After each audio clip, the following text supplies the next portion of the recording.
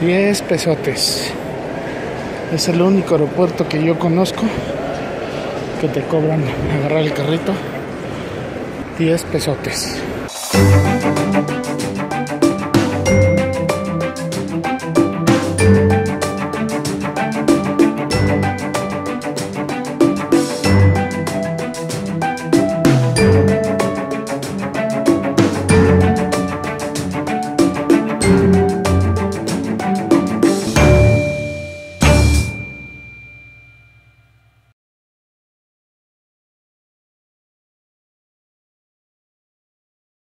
Las formas en las que puedes llegar a la T2 son a través de, obviamente, taxi, Uber, eh, también hay Metrobús, que ahorita no veo ninguno, por ahí debe estar la, la, estación de Metrobús.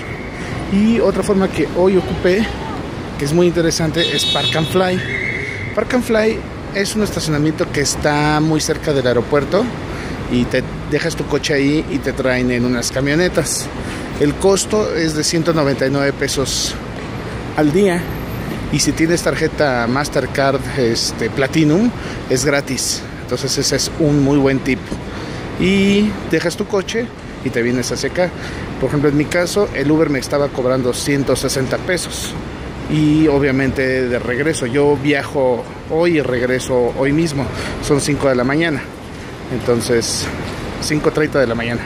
Entonces un poco es muy práctico si vas a hacer un vuelo de un mismo día o de un día para otro. El costo de 199 pesos es por dos días. Entonces, si vienes de un día para otro, es muy recomendable. Yo eh, me vine en mi coche, lo dejo en Park and Fly y de Park and Fly me trae una camionetita que por allá al fondo me dejó.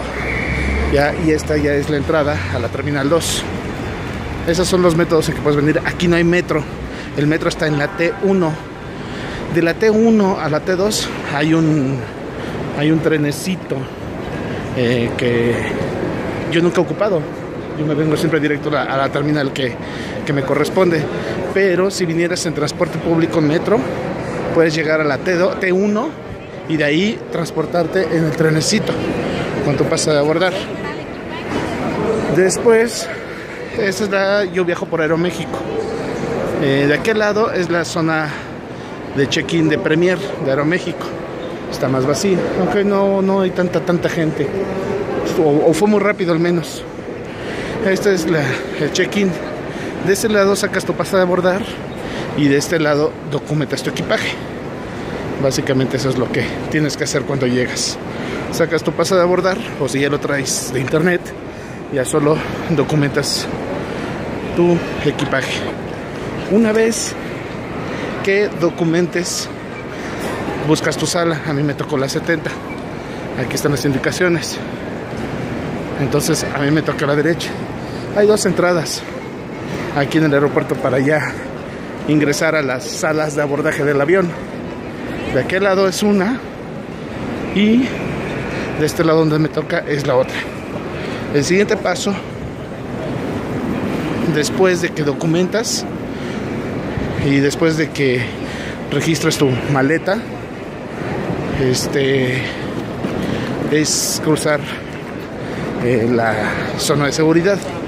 Hasta aquí todo el mundo te puede acompañar aquí te pueden traer tus tus parientes familiares amigos pero a partir de aquel punto ya nadie ya nada más pasas con tu con lo que es tu pasa de abordar que te lo dan aquí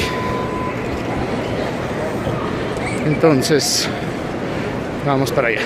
Esta es ya la entrada para las salidas tanto nacionales como internacionales. Yo voy a la sala 70, me corresponde de este lado. Aquí tienes que pasar rayos X, te piden tu identificación y tu pasa de abordar. Aquí es donde pasas, hay unas canastitas para que pongas tus cosas y puedas pasar tu maleta por rayos X. Tienes que poner todo, todo en las canastitas de ahí, todo lo que sea metálico, porque pasas los rayos X. Ya pasamos la seguridad, esa es la línea de seguridad y aquí ya están las salas. Hacia allá está la sala 75. 75 a A, 75B, 75D. Para acá está de las 63 a las 74. Y ya de este lado, vamos a ver qué hay. Vamos a ver qué tanto hay de este lado.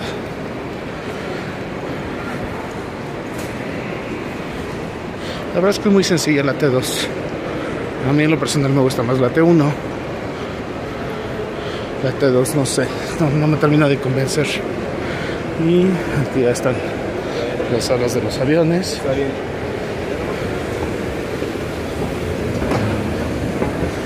Y aquí van a poder encontrar 7-Eleven, Starbucks, Subway,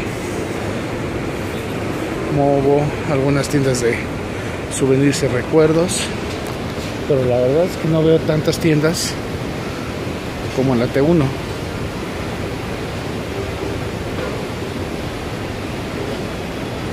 Por ahí hay más tiendas, pero muy poco. Hacia las salas hay más tiendas de, de duty free, el famoso duty free. Aquí no veo nada más que esa tienda y para allá pues igual no se alcanza a ver gran cosa. Ahora sí, vamos a nuestra sala. Ya fuimos a dar una vuelta. Ya compramos un juguito en el 7-Eleven, que es lo más decente. Acá están las tiendas duty free. Algunas todavía están cerradas. Pero ya hay perfumes, tienda de Comalín, una tienda farmacia, baños, souvenirs y recuerditos, dulces mexicanos. Ya puedes comprar aquí comida y subir al avión. Lo que si no puedes pasar, bueno, de aquí al avión ya puedes pasar líquidos, pero antes del punto de seguridad no puedes pasar líquidos. Así es que aquí hay otras tiendas Así es que de tu casa te puedes traer tu, tu refrigerio, hasta un pollo rostizado.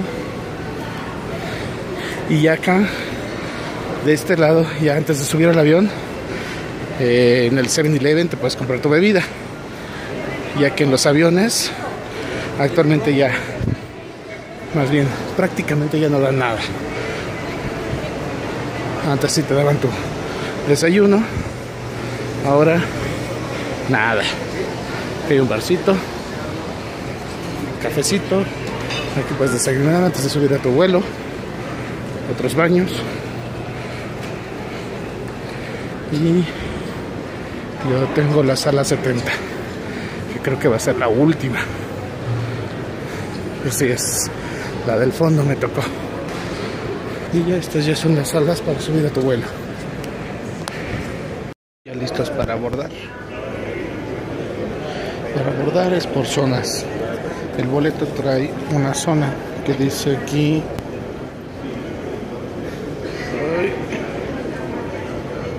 zona 5.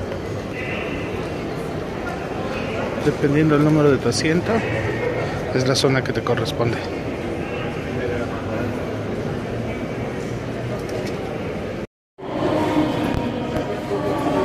Y ahora sí, vamos hacia el avión.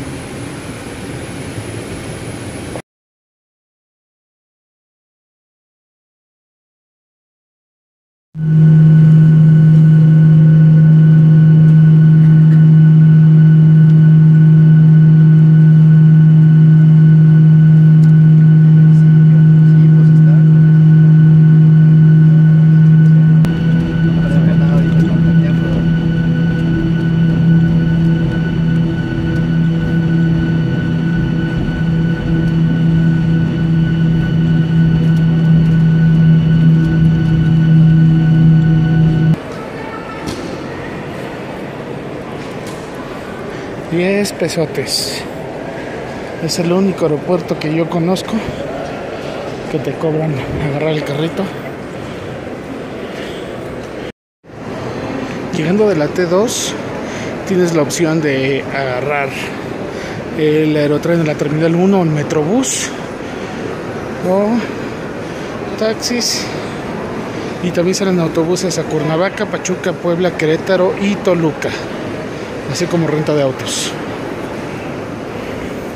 Esta es la salida y esa es para allá.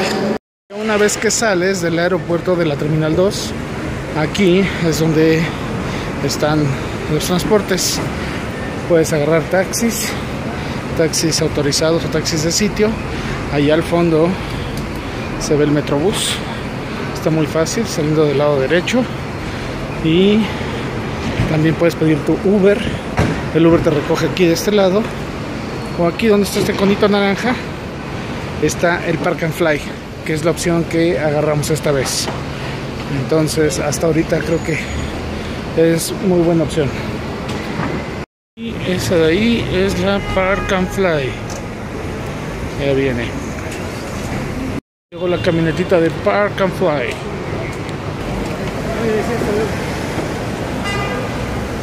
Gracias.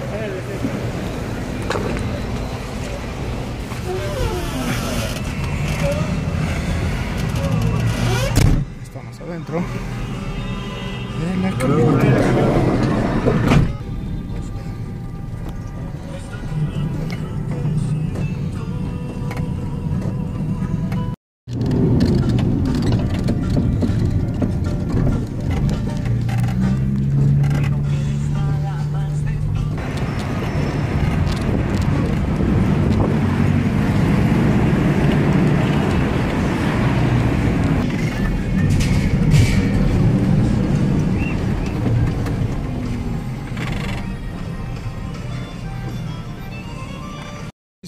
Ya estamos en el carrito.